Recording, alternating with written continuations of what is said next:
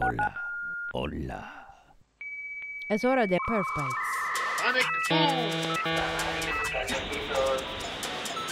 ¿Qué carajos es Perf Bites? ¡Te vale 50 pesos! ¡Te vale 50 pesos! ¿Se da 20 tacos con todo? Bienvenidos al podcast de Perf Bites en español. Hola amigos, bienvenidos a otro episodio de Perf Bites en español, donde en esta ocasión tenemos a un invitado muy especial que viene a platicarnos de algunos pues aventuras que vienen próximamente acá en el área de Latinoamérica y que pues no queremos que se lo pierdan porque vamos a estar muy involucrados haciendo muchas cosas y ayudando a muchos, que espero que todo salga bien. Entonces, con nosotros tenemos hoy a nuestro amigo y pues creo que ya sujeto recurrente aquí en el show, nuestro amigo Federico Toledo. Amigo Fede, bienvenido. Buenas, buenas. Un placer estar nuevamente por acá compartiendo, Leandro. ¿Cómo estamos? Muy bien, muy bien, muy contento y emocionado de tener de nuevo esta experiencia, de tenerte, eh, pues viniendo a platicarnos un poquito de todo lo que viene, eh, pues de parte tuya, de parte de Abstracta y de algunos otros más que, eh, pues no, no eres el único eh, culpable de todas estas situaciones.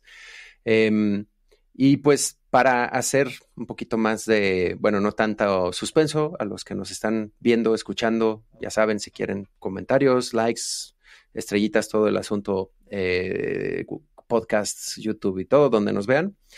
Em, hoy vamos a estar hablando de dos cosas, el Whopper o la Whopper, depende de dónde estén, en Latinoamérica, porque sí lo he escuchado eh, eh, ser referido de ambos modos, la Whopper y el Whopper. Em, y la Quality Sense Conference, que también vamos a tener, como es costumbre, eh, pues un doble combo, ¿no? Lo cual a mí se me hace súper agradable y sobre todo porque yo ya lo experimenté una vez. Tristemente, fue solo el 2022, me parece, cuando ahí estuvimos. Me acuerdo que llegué así rayando un poquito tarde porque, bueno, justo una semana antes me pega el COVID, híjole. Entonces yo pensé que incluso no lo iba a lograr, y, pero bueno, que atraso el vuelo tantito, me recuperé y llegué justo con prueba negativa en mano a decirles, ya llegué a woperear. eh, pero una gran diferencia que hubo en ese Whopper es que fue en inglés. Yo me acuerdo que tuvimos a gente como Mark Tomlinson, estuvo eh, Paul Holland, eh, estuvo el mismísimo Eric Proegler, también, ¿se podría decir papá del Whopper? bueno, Uno de los papás. Em, y pues hubo mucha, mucho intercambio, ¿no? Muchos de Latinoamérica que estuvimos ahí, con varios de Estados Unidos y hasta Europa. Tuvimos a nuestro amigo Henrik, tuvimos a Almudena, tuvimos ahí toda una hecatombe de performance en el Whopper en ese año. Y bueno, por causas personales, yo sé que hubo otro Whopper el año pasado en Chile, si mal no recuerdo, eh, totalmente en español. Y yo no me imagino cómo es esta diferencia, porque yo ya lo viví pues en inglés, ¿no? Y amigo Fede, creo que quisiera abrir ahí que nos platiques cómo estuvo Chile para que, pues bueno, quien está considerándolo le den más ganas, ¿no? De ir a experimentarlo. Yo creo que estuvo buenísimo. Tal vez, eh, primero, bueno, seguramente si eh, la- las personas que siguen este canal ya saben lo que es el Whopper, el Workshop on Performance and Reliability, que es un workshop, yo, yo siempre lo presento como el más relevante o el de mayor prestigio en el área de performance. Eh, existe desde el 2003 y ha estado hosteado en empresas súper reconocidas, desde Google, Facebook, no sé, eh, un montón de empresas. Generalmente se hacía en Estados Unidos y Europa. Y en el 2022 fue la primera vez que lo trajimos para acá, para Latinoamérica, fue en Uruguay. Y como bien dijiste, el año pasado en Chile fue la primera vez que se hizo en español. Y para nosotros fue un experimento, porque también era, bueno, ¿encontraremos suficientes personas dedicadas al testing de performance que le vean valor a un taller de este estilo? Son tres días que nos encerramos a compartir eh, experiencias, discutir, eh, hacer preguntas. Realmente tendrá valor y y la conclusión fue que sí, que tuvo muchísimo valor, fue, se vivió súper especial. Eh, nos dimos cuenta de que hay una, hay una comunidad de performance en Latinoamérica súper buena, súper potente, con muchísimo conocimiento y quizá nos estaba faltando un lugar como este donde poder encontrarnos, conocernos, generar vínculos y compartir lo que cada uno y cada una ha experimentado y, brindarle ese conocimiento o esas experiencias a los demás, eh, ver otras perspectivas. Eh, me acuerdo que el año pasado tuvimos personas de, México, de Colombia, de Chile, de, distintos, bueno, varios de Uruguay, eh, y cada uno aportando distintas visiones, tanto experiencias que, ocurrían, que ocurrieron acá en Latinoamérica, por ejemplo, Charlie de Argentina nos compartió cómo sacaron una aplicación móvil en seis meses y hicieron un montón de pruebas de performance y compartió toda esa experiencia. A otros que tal vez damos servicios o trabajamos remoto para empresas de Estados Unidos, entonces no, nos vinculamos a otro tipo de realidades.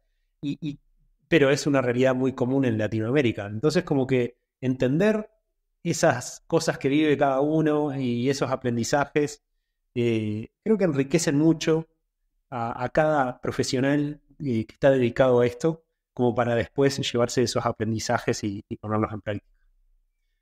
Fíjate que ahorita como lo describías, cuando mucha gente me pregunta o lo he platicado en algunos shows, yo digo que, porque es un poco diferente, ¿no? No es esta conferencia habitual donde tienes a un grupo de, pues, asistentes, espectadores, sino esa puerta cerrada y están ahí varias figuras del performance a nivel mundial compartiendo pues estas experiencias, ¿no? Estas experiencias donde cómo resolví algún problema, qué es lo nuevo que estoy probando o qué es lo que me funcionó. Y que, pues, a mí me suena un poquito así como esta junta de Illuminatis, casi casi que nos ponemos togas todos ahí de el, el perfluminati, casi casi de eh, todo el mundo. Pero creo que es una experiencia increíble que nos trae, yo aprendí muchísimo en el Whopper que estuve en 2022. Eh, te abre la mente a muchas otras perspectivas, otros modos de actuar y algunos donde tú a lo mejor tienes esta idea que se debe hacer de un modo y no, hay otro. Yo sigo eh, trayendo a colación aquel escandaloso momento en el que Almudena dijo que no le importa qué herramienta usen siempre que entreguen los resultados en un formato. Recuerdo como ¡ah! por todos lados escuchabas a la gente casi, casi, algunos ponerse a llorar y decir, no, ¿cómo dijo eso? Eh, además de algunos retos muy importantes que, pues, no te imaginas a veces que un ingeniero de performance puede tener, o te lo imaginas perfecto, lo has vivido y lo arreglaste de otro modo. No sé, hay una cantidad de situaciones ahí que me encanta cómo fue saliendo en, pues en ese Whopper que estuve, ¿no? Además de que hay un, pues una temática, ¿no? Se sigue un, eh, punto a discutir alrededor de performance. Eh, al decir verdad, no recuerdo cuál fue la temática en aquel Whopper que estuvimos en Uruguay. Performance continuo era. Ah, ok, performance continuo. Muy ad hoc, muchas de las cosas, claro, Almudena aquí sacando derechazos, izquierdazos de performance continuo sin parar y que, bueno, no solo, de nuevo, no solo fue esto, ¿no? El año pasado en Chile también tuvieron un, eh, pues una temática, ¿no? ¿Cuál fue el año pasado? La temática, un poco por haber sido el primero, quisimos hacer algo bien abarcativo, bien genérico, entonces planteamos como el estado de las pruebas de performance en Latinoamérica. Entonces, realmente eso daba la posibilidad de hablar, de hablar de cualquier experiencia de pruebas de performance. Este año, que creo que no lo dijimos todavía, va a ser en Colombia el 23, 24 y 25 de octubre, la misma semana que ocurre la Quality Sense, que ahora conversamos un poco más de eso después. Em, pero eh, ahora en Colombia lo que vamos a hacer eh, va a ser hablar, la propuesta, la temática de este año es historias o aprendizajes o desafíos en pandemia. Y realmente lo que nos imaginamos un poco en un inicio cuando proponíamos esto era poder compartir esas historias, esas batallitas especiales que se dieron o esas situaciones especiales a partir de lo que nos trajo la pandemia. Y no me refiero a, uy, ahora tengo que trabajar desde casa o los problemas de trabajo remoto, sino, no sé, eh, trabajo para un sitio de e-commerce y de repente de un día para otro se duplicó la cantidad de gente que, empezó a comprar online. Entonces, ¿cómo nos acomodamos de infraestructura? ¿Qué preparaciones y qué desafíos tuvimos? Un poco esa es la idea de este año. Lo que tampoco cierra la puerta a alguien que no haya tenido ninguna experiencia específica relacionada al COVID, sino que intentamos que sea eh, como el hilo conductor o, el punto en común entre todas las propuestas, pero también si alguien tiene algo interesante para compartir de performance y no se relaciona específicamente, directamente, también eh, son bienvenidas esas propuestas. De hecho, es, es, e, este tema de pandemia, pues sí, creo que todos pasamos por un tiempo muy interesante. Yo creo que cualquier historia, tú mencionas mucho enfoque a esta sobrecarga súbita de utilización en plataformas en línea, pero yo creo que hubieron muchísimos cambios, no solo ese, cuando estuvimos en esta época de la pandemia, que pues no hubieron muchos cambios, hubieron muchas cosas que tuvimos que aprender a adaptarnos y ver pues cómo seguir sacando adelante el trabajo, los proyectos. Eh, este micrófono anda loco y moviéndose para todos lados. Una disculpa a todos los que nos están viendo. Em, y, yo creo que todo esto no solo, y, como dices, ¿no? ahora sí que el pez gordo es hablar de estos proyectos que generaron una cantidad de tráfico extra y de carga, pero también tuvimos cantidad de cosas que cambiaron equipos, cómo trabajábamos entre nosotros, cómo se llevaba, eh, a mí en lo personal me tocó equipos internacionales, más internacionales súbitamente, y que pues tal vez estoy spoileando un poquito el que yo estoy planeando aquí traer, pero con países que después entraron en guerra, que después tuvieron eh, otras situaciones que, pues, argumentablemente vienen de la pandemia, pero que generaron cambios en cómo se va a lograr esta, eh, pues, mantener un buen performance, ¿no?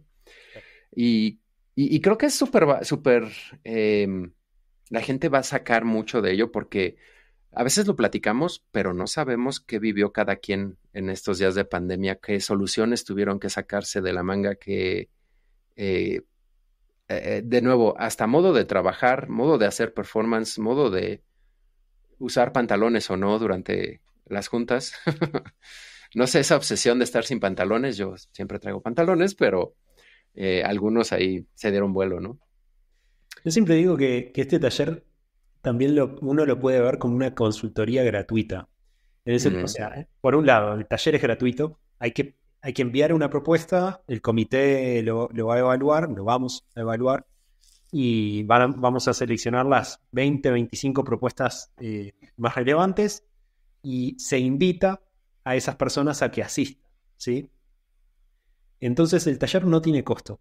Ahora, uno cuando expone no solamente comparte y, entrega valor a los demás. Después, los demás, que van a ser 20, 25 profesionales del área de performance, van a contribuirte haciéndote preguntas, cual consultor te, analiza el caso y te dice, ¿y por qué no usaste esta herramienta? ¿O por qué no lo hicieron así? Y chequearon tal otra cosa. Eso me parece que tiene un valor enorme eh, para, las personas que se animan a, compartir este, su experiencia, no solamente desde el punto, por eso insisto, no es solamente compartir eh, la típica charla de conferencia, que si yo hablo, soy yo el que entrego valor. No, en este caso, si yo hablo, también recibo valor. Probablemente la persona que habla es la que recibe el mayor valor, porque le, van a hacer preguntas sobre su proyecto y, le van a terminar llevando a otro montón de aprendizajes eh, otras preguntas o otros experimentos para hacer el día de mañana si sigue trabajando sobre ese mismo proyecto. Es un... Eh, y, vamos a compartir algunos de estos detalles. Tenemos videos, tenemos blog posts donde describimos cómo funciona el Whopper, porque no es, como bien dices, me paro al frente, expongo mi caso y me bajo. No, en cuanto termina uno de exponer el caso, agárrense porque ahí viene eh, no una serie, sino es, yo creo que un turbocombo de preguntas y respuestas.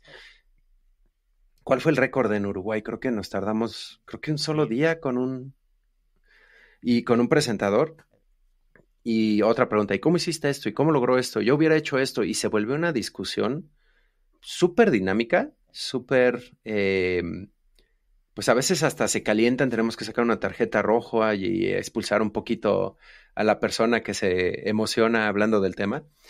Pero, de nuevo, no es una bill, el Whopper no es una bill conferencia, una bill presentación. Yo creo que quienes estén interesados, manden, por favor, vamos a compartir también enlaces aquí abajo en redes sociales y todo, donde pueden averiguar cómo se vive, verlo, porque de nuevo hay un videito, leer un poco más de detalles sobre qué hacer, qué mandar, porque ahora que haces este punto, no es una vil charla, una vil presentación, no, no requieren slides, no requieren, tienen que traer una experiencia de un proyecto eh, y platicarla. Si necesitan eh, un PowerPoint o unos slides, una pizarra, eh, danza interpretativa o lo que necesiten para platicarlo, yo creo que eh, ese es otro punto muy agradable del Whopper, que no es, no es una presentación de charla y es más, yo cuando hice la mía traía algunas cosas que sobre la marcha fue así de, ah, es cierto, y también hicimos esto, y también fue aquello, y también pasó lo otro, y otros que tristemente pues se me olvidó mencionar, pero gracias a que es esta conversación me hacen la pregunta, ¿y cómo obtuviste la utilización de esto o los patrones de, eh, para diseñar la prueba de carga, ¿no? Ah, pues se hizo así, se hizo así, qué bueno que me recuerdas esto y esto. Entonces, es una, es un debate, creo yo, un panel casi casi que se vuelve, ¿no? Sí, sí, sí. Una cosa más a destacar es que la edición de este año la estamos organizando entre cuatro personas. Eh, estamos acá con el amigo Leandro, también eh, participando en la organización. Está Jennifer Sánchez, eh, de Colombia, ella es la que juega de local este año. Y está también Andrei Guchin de, acá del equipo de Abstracta, que con Andrei eh, fue con quien organizamos el, año pasado. Y, bueno, eh, así que estaremos los cuatro allá en Colombia y, las personas que vayan enviando propuestas, iremos ahí este, eh, revisándolas y dando feedback, viendo cuáles son las mejores y, y mandando las invitaciones. Tenemos confirmado ya el lugar Va a ser en, las oficinas de Endava, en un lugar muy lindo ahí en, Colombia, en Medellín. Y bueno, eh, quedan muy pocos días para mandar, para, mandar las propuestas, así que los animo a que si, están ahí con ganas de compartir algo, de, con la posibilidad de viajar a Medellín, esto es solamente en persona, este tipo de conferencia la estamos organizando de esa manera porque sería como muy complejo llevar la dinámica de manera híbrida, así que por ahora lo estamos haciendo en persona. Por eso, si tienen algo para compartir, se animan a estar en Medellín para esa semana, eh, los animamos a, que envíen la propuesta lo antes posible para que puedan ser eh, considerados para, participar. Sí, absolutamente. No, no se lo pierdan. Aquí en el episodio vamos a poner links de nuevo, cómo mandar propuesta, de qué se trata, un video, una descripción, conferencia y todo lo demás. Em, y hablando de conferencia, amigo Fede, platícanos un poquito de, después, porque de, como dije, es un combo, no van solo al Whopper, sino lo que sigue después. ¿Qué, es la Quality Sense? En este, en este caso eh, vamos a hacerlo al revés. Primero va a ser la Quality Sense, lunes y martes, y de miércoles a viernes va a ser el Whopper. Eh, porque, eh, y esto lo traigo, lo traigo un poco más a la historia de cómo se organiza, cómo se originó todo esto participé de un Whopper en 2019. Eh, yo viví en Estados Unidos muy cerca de, Eric, eh, de Eric Progler, que es el organizador. Por una cosa u otra generamos un buen vínculo y de ahí surgió la idea de, che, ¿por qué no lo hacemos en Uruguay? Ya que yo me estaba regresando a vivir acá a Uruguay y él todavía no tenía definido dónde iba a ser el próximo Whopper. Entonces de ahí surgió la idea de organizarlo en Uruguay. Y como íbamos a tener tantas personas de Estados Unidos, distintos lugares de Latinoamérica, de Europa, eh, en Uruguay participando del Whopper, pero es algo cerrado. Entonces dijimos, bueno, ya que todas esas personas que tienen tanto conocimiento van a venir acá, eh, tenemos que generar algo, un espacio donde esas personas también puedan volcar de manera gratuita su conocimiento a la comunidad. Y por eso inventamos hacer la Quality Sense en la misma semana. Y esa fórmula es la que seguimos repitiendo. La misma semana hacemos Whopper y Quality Sense. Y, bueno, por eso en esta oportunidad también vamos a hacer lo mismo. Eh, el lunes 21 de octubre va a ser la Quality Sense Conf online. El martes 22 va a ser en persona en el mismo edificio ahí también. Eh, tiene lugar para 300, 350 personas. Las charlas van a quedar grabadas y disponibles ah, poco después de la conferencia. Y después vamos a tener tres días del Whopper. Eh, así que va a ser una semana a full, una experiencia completa. Ahí tenemos algunas actividades de networking también para sponsors, speakers y los participantes del Whopper. Así que va a estar bien entretenida esa semana. Es este. Sí, yo me acuerdo en, el eh, en la primer Quality Sense Conference, eh, o Conf, ya no sé cómo se pronuncia. Luego me confundo un poquito con cómo pronunciar las cosas. Pero en, esa primera, me acuerdo, eh, tuvimos tracks, se aprovechó en inglés, luego en español, se hizo acá toda la mezcla, aprovechando que pues había gente de tantos lugares. y, y, no solo referente a la Whopper, ¿no? Me acuerdo que tuvimos también de fuera de las comunidades de testing, no solo relacionado a performance, sino que la Quality Sense es QA y, como decimos en México, atásquense ahí por mayor de todas las áreas, todas las divisiones, em, que yo creo que también el lado de que tienes el track eh, virtual ayuda muchísimo a que no pues no se limite, ¿no? A solo la gente que puede estar ahí, solo los, em, pues los que tienen el chance de transportarse, ¿no? Y por el otro lado, cuando tienes el presencial, bueno, ahí en persona tenemos mucho relajo, luego hay actividades después, antes, nos vemos, nos conocemos, platicamos. Yo creo que ese también es una experiencia que pues no se pueden perder, ¿no? Yo creo que esto pues lo dejo más como un, un aviso a todos los que no, a lo mejor no están en performance, pero quieren pues ir a platicar de QA, abrirse un poquito a todas estas experiencias. También tenemos propuestas, ¿no? También tenemos, eh, ¿cómo se dice en español? CFP, maldita sea. ¿He llamado a speakers o a llamado, propuestas? Llamado a propuestas, gracias.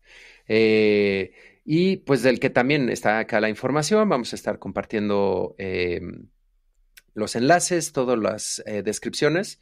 Eh, y amigo Fede, creo que tenemos límites, ¿no? En cuándo mandar y cuándo eh, se revisa todo esto. ¿Cómo andamos de, fechas? Sí, estamos bien sobre la fecha. Eh, tenemos tiempo hasta el 2 de junio. Una, una, acotación más sobre la Quality Sense. este año el foco que le estamos queriendo dar está alineado a inteligencia artificial como la mayoría de las conferencias porque es el tema más candente en este momento y mucha gente se está preguntando, ¿no? ¿Qué más tengo que aprender para seguir siendo relevante en la industria? no me interesa tanto la discusión de si el día de mañana los testers van a tener trabajo o no, si la inteligencia artificial nos lo va a robar. Me interesa que conversemos sobre cómo probar eh, qué cosas tenemos que aprender para poder este, seguir siendo relevantes y eficientes en nuestro trabajo y qué herramientas existen por ahí y que se están viniendo con esta nueva ola de inteligencia artificial que podamos aprovechar desde nuestros roles. La conferencia, bien decías, es de calidad en su amplio espectro, ¿no? Eh, no solamente performance, no solamente QA, pero también son bienvenidas las personas que trabajan en desarrollo, en diseño, en otras áreas que quieran compartir alguna temática de calidad, porque creo que eso también refleja eh, uno de los grandes valores que, creo que varios promovemos, que eh, la calidad no es responsabilidad de un rol solo, sino es de, todas las personas que desarrollamos software. Así que por ahí también son bienvenidas esas propuestas. Pues eh, amigos, amigas, todos los que nos estén escuchando, ahí lo tienen. No se pierdan desde muchos frentes, ¿no? Pueden mandar a la Whopper, el Whopper o como le quieran decir. Eh, le Whopper, ya vamos a volverlo inclusivo, ¿no? Yo creo que... Em, y manden sus propuestas si es que quieren eh, traernos alguna experiencia que hayan tenido, especialmente pues de pandemia. De nuevo, todo es bienvenido. Y eh, para la Quality Sense Conference, pues envíen sus propuestas si quieren ir a presentar, ya sea que si no pueden viajar, bueno, pues van a poder hacer una presentación virtual y si pueden estar ahí, pues qué mejor. Y si pues no está en sus planes todavía o todavía no se sienten a gusto de ser presentadores o cosas así, pues también asistan, si andan por ahí, si pueden viajar al evento como tal. Buenísimo, no se lo pierdan. O, pues bueno, supongo que la parte virtual también gratuita, totalmente abierta, registrable, ¿no? Sí, por supuesto. las inscripciones se van a abrir más hacia septiembre, como la conferencia es en octubre, seguramente en septiembre en algún momento. Así que también la invitación es para mantenerse al tanto de, las novedades, que nos sigan en redes, que siempre estamos compartiendo eh, de esos avances en la organización del evento. Esténse pendientes, vamos a estar platicando. Yo creo que, amigo Fede, sigan a Abstracta en LinkedIn, Twitter, eh, TikTok, todo eso, ¿no? Sí, por supuesto. ¿TikTok? ¿En serio? Yo lo decía por. No creo. No. Sabía. sí, todavía algunos no estamos listos para esas cosas. Em, y bueno, ¿algún último mensaje que le quieras pasar a los que nos están viendo, querido Fede? Eh, sobre Whopper, la conferencia, cosas que vienen. Sí, que, estén al tanto, que, que, se animen a participar, que de una forma u otra aprovechen el evento. Eh, yo me enorgullezco diciendo de que somos el evento de testing de, este nicho donde más hemos logrado cruzar fronteras. Y me refiero no solamente al hecho de que estamos cada año haciéndola en un país diferente, sino que hemos logrado traer referentes de distintos países, eh, no solamente de Latinoamérica, sino de Europa, Estados Unidos, Canadá, de, incluso de India también. O sea, creo que lograr tener esa diversidad de speakers y, eh, nos agrega una diversidad de perspectivas y eso creo que tiene un valor per se. Así que ojalá puedan aprovecharlo porque es una conferencia que la estamos organizando con mucho esfuerzo, eh, con mucho corazón, le tenemos mucho cariño y mientras más personas puedan aprovechar todo esto que estamos generando, más felices seremos. No, pues hay que incrementar esta felicidad al máximo. Eh, gente hermosa, gente bella viendo aquí este show, este episodio. Estén al tanto, no se lo pierdan. Es de verdad una experiencia, una vivencia. Si van al Whopper, yo creo que ese cambia vidas probablemente. No, sí, sí, creo que sí. Eh, no es que la Quality Sense Conf se quede atrás, un lado muy privado, con mucha discusión y todo acá eh, hasta acalorado a veces. Y por el otro, la Quality Sense Conference, donde sí, de nuevo, van a tener eh, speakers internacionales, pueden ustedes ser speakers internacionales y pues no se lo pierdan. Eh, ¿Algún detalle más que se me olvide? Links, notas, todo lo verán en los comentarios, en pantalla y si nos ven compartidos en redes sociales, ahí verán toda la información necesaria.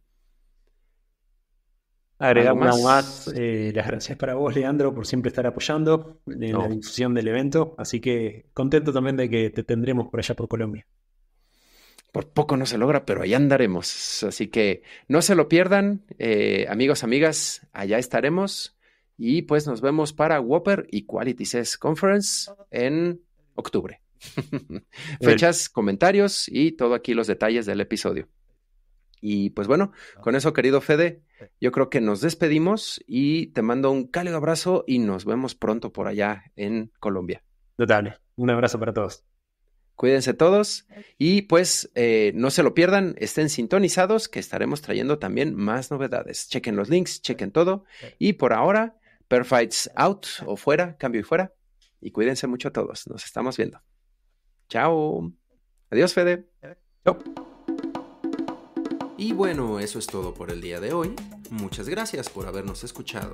No se olviden de darnos sus likes en Facebook, seguirnos en el Twitter, mandar comentarios en email, ni de visitar nuestras páginas. Cuídense mucho y nos estamos escuchando. Adiós, Leandro. Adiós, Leandro. Bueno, bienvenido.